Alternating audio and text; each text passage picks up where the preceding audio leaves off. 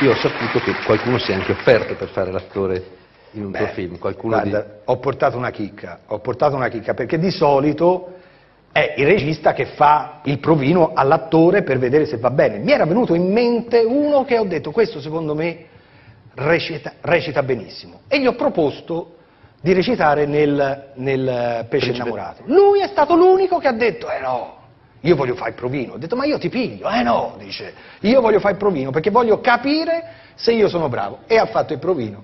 Ce lo vediamo? Lo vediamo. Vediamolo.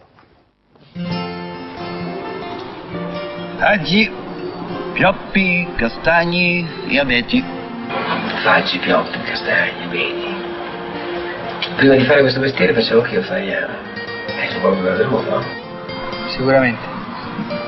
Avevo una bottega con mio cognato. Avviatissimo. Lui era appassionato di corse dei cani. Investimmo in un campione, 40 milioni ci costò. Vinceva sempre. Hai mai visto una corsa dei cani?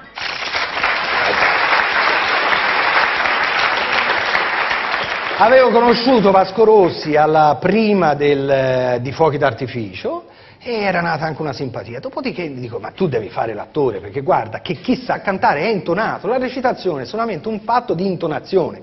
Gli attori cani, cioè quelli che recitano male, è perché non sono intonati, sono eh, stonati in questo modo.